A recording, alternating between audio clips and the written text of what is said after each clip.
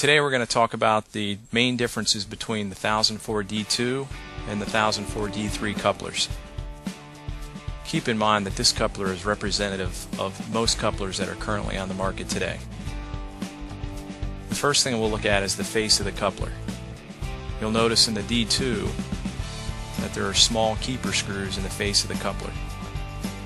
The D3 we've eliminated those small threads. Small threads over time, very difficult to maintain and remove.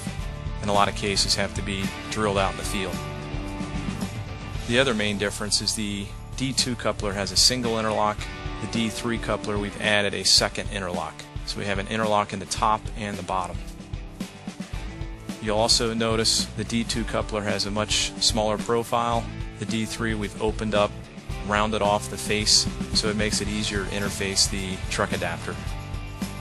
We rotate around looking at the handle shaft. With a conventional coupler you have to drive a pin out to remove the handle. The next step would be to remove the shaft. You'd have to drive another pin out. With the D3 coupler, we've eliminated the pins. To remove the handle, simply remove the nut.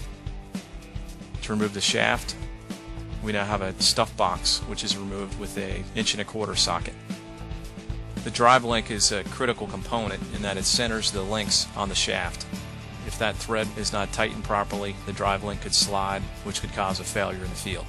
With the D3, we've eliminated the threaded drive link. It's held in place with a spacer, so there's no way that the drive link can move on the shaft.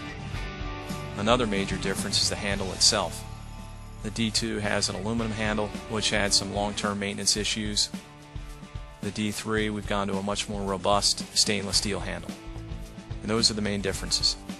In summary, with the 1004 D3, we've eliminated the small threads, eliminated the pins, developed an innovative handle shaft design, which combined to make the D3 the most user-friendly coupler on the market today.